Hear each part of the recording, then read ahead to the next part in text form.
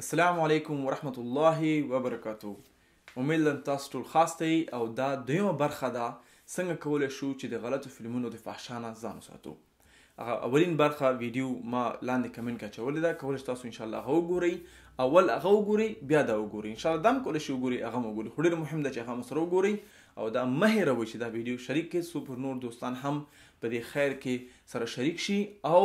د دې فحشاتو نه ځان وساتي متاسفانه متاسفانه چې د موږ ځوانان په ډیرو مرزونو اخته دي په هغه ویډیو کې ما بحث کړی دی چې نقصانات څه شي دي زه په دې ویډیو کې پنځه لارې در کوم څنګه کولی شئ چې د غلطو فلمونو نه د فحشا نه ځان وساتئ اولین لاره چې تاسو کولی شئ چې ځان د فحشات نه وساتئ ودونه نه دي کړي او ځوانان استئ او انسان دا عادي دی چې موږ شهوتي قواوې لرو دا زمونږ یو برخه ده دا مونږ ته الله راکړې ده لیکن د الله مونږ ته هم لار راکړې دي چې نکاح کوئ او تاسو کولای شئ چې دا قوا بیا استفاده کړئ لیکن نن د یو دنیا د فتنه راغلې ده هر سړي سره موبایل دی تلویزیون دی انټرنیټ دی فتنه د هر چا په کور کې او توشک کې او بالغ کې دننه شوې ده نو اوس څنګه کولو شو دې فتنو ځان وساتو زمونږ ځوانان وګوري چې هر ځای کې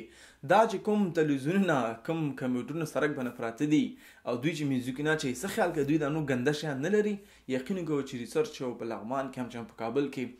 د هر یو تقریبا ټول نه وایم اکثر دوی دا غلط فهمونه لري او ځوانان ته هم ریکارډونه کوي او هغه ځوانان ګوري دوی ژوند تباه شو یقین کوي چې دا کم ځوانان خپل ځان سره کومک کوي دوی بچیان نه کیږي نن د بچیان د نه کېدو وجه ډیر خلک ډیر فامیلونه خراب دي ډیر خلکو طلاقونه واغستل زما خور الحمدلله ډاکټر ده دی هغه نه زه معلومات راوړم چې ډیرې ښځې راځي وایي زما د بچینې کې چې علتونه ګورو چې د خاون کې مشکلات دي او مشکلات شي دي ځکه دوی په ډیر کم عمر کې خپل ځان خراب کړی دی فحشات فلمونه کتلي دي او بیا ځان سره کومک کړی دی خپل شهوتي قدرت ختم کړی دی دا علت دی او دا جزاک الله خیر چې ماته معلومات راکو اولین حل لاره څه شی ده باید روژه ونیسو ورور که ته واده دې نه کړی اول ویډیو کې ما بحث کړی خو اوس د باندې شارټ کټ بحث کوم ته باید روژه ونیسې اقلا دوه ورځې الله سبحانه وتعالی په قرآن کې چې فرمایي چې یا ایها الذین آمنوا کتب علیکم الصیام کما کتب علی الذین من قبلکم لعلکم تتقون بنیاد اصلي وجه د روژه چې تقوا چې ته باید تقوا لاسته راوړې که ته روژه ونیسې د کې ډیر زیات تفصیل دی خو وخت نشته دی تفصیل نه نشم ورکول لنډ دا ته ستا نفس کمزوری وي چې ستا نفس کمزوری وي نو ستا الهي برخه چې کوم روح دی قلب دی هغه په زور کې وي نو ته بیا شهوتي قوا ته زیات زور نه وهي نو زما په مشورې باندې هر ځوان باید اقلا په هفته کې یو روژه ونیسي ځکه په دې فتنه ټایم کې اقلا یو ورځ دوه ورځې خو چې دوه ورځې اقلا د دوشنبې یا یکشنبه روژه ونیسه انشاءالله ستا به ډېر ژوند جوړ وي دویم حل لاره دا ده، زه پوهېږم دغه شهوتي فلمونه سړی چې وګوري، ما په بل ویډیو کې بحث کړی دی چې د انسان په ذهن باندې ډېر زیات اثر غورځوي، حتی په یو لیول باندې چې انسان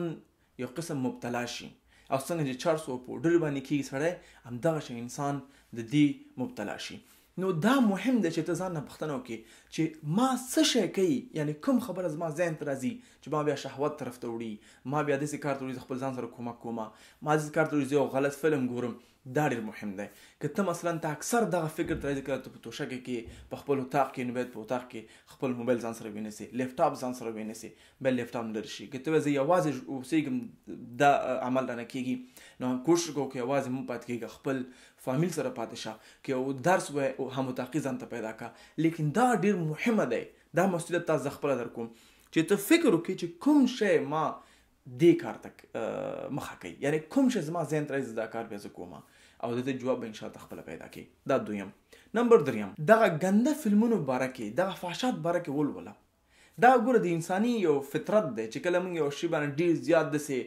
اله پټګیو ته لرو مثلا که تاسو هم چې غواړئ چا سره عکس وباسې بیا سره لږ وخت ته تعدي شي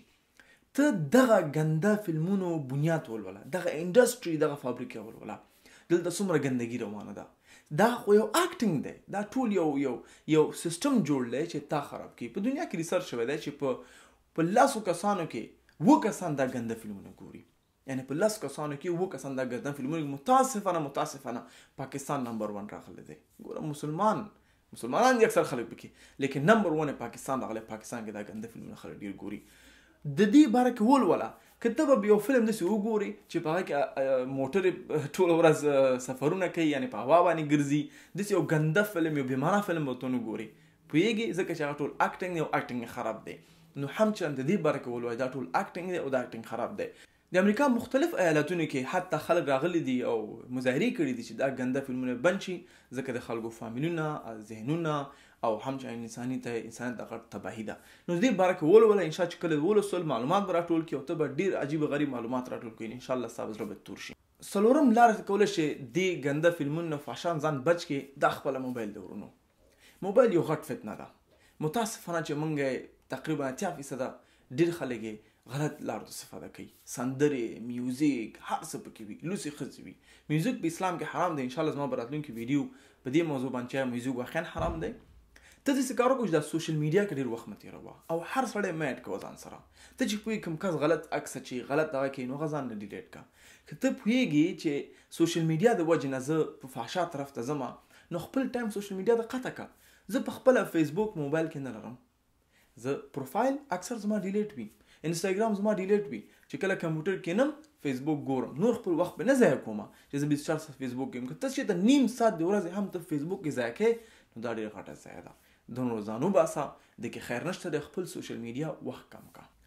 اخری پنځمه لاره څنګه کوی دی فحشا نه ځان وباسی ورور خپل ورځ پلان که چی ته کله سهار راپاسیږی ته ووایی زه به څه شی کوم خپل ذهن مصروف که په نیک کارونو کی په خیر کارونو کی تر څو پوری ته بد کارونو ته اوزګار نه شی ډیر خلک چی ما ورسره انټرویو کړی دی پوښتنه تری کوی څنګه ته فحشا طرف ته ځی هغه وایی زه اوزګار وم زه ناست وم زما فکر لاړو ځکه ته چی کله اوزګار کینی کار دی نه وی پلان دی نه وی ذهن دی خالی نو شیطان تاته راشی وسوسه زړه کې واچوي او تا یو غلط کار ته ویسي ډیر زیات مهم دی مسلمان ته یو ځوان ته چې یو فعال شخصیت وسی د ورځې پاسیږي خپل پلان کی ته که ورځ خپل پلانوي کنه پلانوي ته به د ورځې چې ویښ شوي به ته ټول ورځ پلان کی ته شپې پوري او ته خوب پوري زما بل ویډیو دا د خوب نه مخکې به څه شی وشي هغه په لینک ما په کمنټس کې چولې کول شي هغه وګورئ او زه شخصا څه شی کوم نو دا ډیر مهم دی زه تکراروم تاسو به کم کم کارونه وکوي نمبر ون باید روژه ونیسې ما مخکې تاسو آیات وړاندې کو چې څومره مهم دی نمبر دویم چې دا پیدا کا تا کوم عمل یا کوم شی ستا ذهن ته راځي د ستا فاشات ته وړي نمبر دریم د دغه انډسټري دغه د فلت ګندګي باره کې ولوله چې دا دی څه شی دی څنګه چا شروع کو ولې شروع شو د هر څه باره کې لوستی شي ولوله څو پر پوه شي چې دا څومره ګنده عمل دی د سکرین شاته څلورم، خپل د سوشل میډیا، د اجتماعي شبکو، باندې وخت ډیر مه مصرفوه، فیسبوک او یوټیوب دې شیانو باندې وخت مه مصرفوه، دې کې هیڅ خیر نشته دی. د فیسبوک نه علم راغستل لکه د کچرې اوبه څکل دي. دغه شی دی. نور دې کې هیڅ خیر نشته دی. که ته چې غواړې معلومات هم راټول کړې، کتابونه ولوله، ډیر څه به دې زده کړي. سپین ږیرو سره کینه، جومات کې کینه، بعد علاقه جوړه کړه یا یو علاقه استاد سره راوخله، لیکن د فیسبوک نه هیڅ کوم فایده نشته دی عکس واخله او لایکس دا جدا مسله ده باندې نور ډیټیل نه چوم پنځم خپل ورځ پلان کا او چې کله ته خپل ورځ پلان کې پلان مطابق مخته لاړ شي نو ان شاء الله ستاسو لپاره فحشات وخت نه وي او بل به شیطان ته د حق نه ورکول کی تا ته نور پلان نه درکې ځکه ته خپل پلان لري امید لرم چې دغه ټیپس تاسو سره کومک وکړي ان شاء الله زه بل ویډیو هم جوړوم دا مې لنډ ټیپس ورکړل په بل ویډیو کې به ډېر تفصیل ورکم امید لرم تاسو ګټه ورسي او مه هېروي دا ویډیو شریک کړئ څو په نو خلک ګټه واخلي ډاونلوډ یې کړئ او هم چې نور دوستان سره هم شریک کړئ بارک الله ولکم السلام علیکم ورحمت الله وبرکاته السلام علیکم ورحمت الله وبرکاته که غواړئ همداسې ویډیوګانې زما نور هم وګورئ